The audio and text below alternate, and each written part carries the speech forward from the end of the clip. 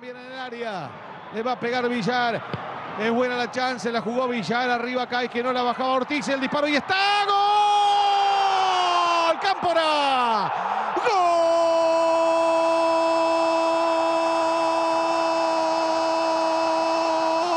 ¡Gol de Racing! Javier Cámpora, gol de goleador, decía Fernando y con Juan de razón. Pero si Cámpora, pero si Cámpora está para definir y ¿saben qué? Cámpora definió, se desata.